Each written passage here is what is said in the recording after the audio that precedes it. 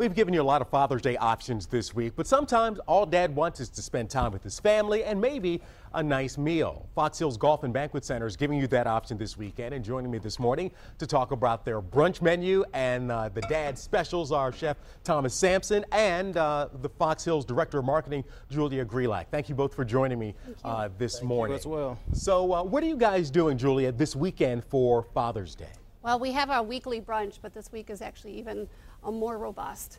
Um, so as you can see, Chef is making the veal ragu. and This is one of the dishes on the Father's Day brunch. Um, but we have many other breakfast items, um, lunch items. It's a huge extravaganza. So all you can eat brunch. All right, and uh, Chef, tell us a bit about the uh, veal ragu. I mean, you were describing it before, and it sounds fantastic. Absolutely. First of all, we use a nice tender cut piece of uh, veal. Uh, we also have a nice spaetzle, which is a German dumpling. Okay. We're going to top that with a uh, uh, mushroom demi-glaze. Now, what's a, a spaetzle? Know, I hadn't heard of it before. Lots of folks probably haven't heard of it. What's the texture like? What's the taste like? Well, the taste is almost, it's in the dumpling family. Right. So the taste is, um, it's girthy, it's full.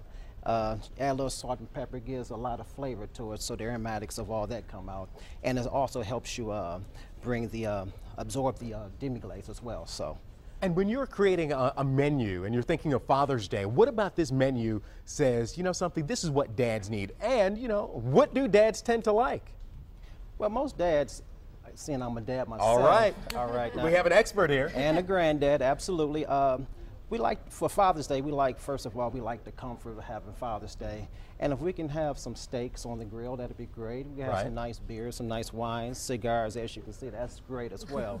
um, me personally, I just like to have a nice meal that's um, full of nutrients, full of uh, flavor, and full of color. That'd be awesome. Well, full of color and, uh, like you said, full of flavor. You can't have a great meal without uh, without flavor. So right now we have the veal on here. The veal is uh, is it? The veal is sauteed. I'm just waiting on my uh, flame to come up. It's coming up now. You got a slow eye here. Mm -hmm. So once everything comes up, this is going to brown to a um, get a, a nice brown. Yes, you have the flour on have there. the flour, and I'm gonna turn it after uh, it browns on both sides. You want to cook it at about 350 degrees. So, okay.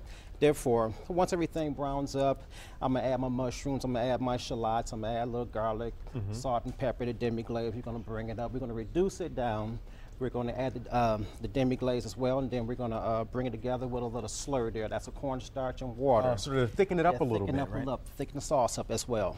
All right, and uh, Julia, what are some of, uh, what are the hours of your brunch, and uh, are reservations still available? Absolutely. We Right now we have over a 1,000 people coming, but we absolutely have more reservations available.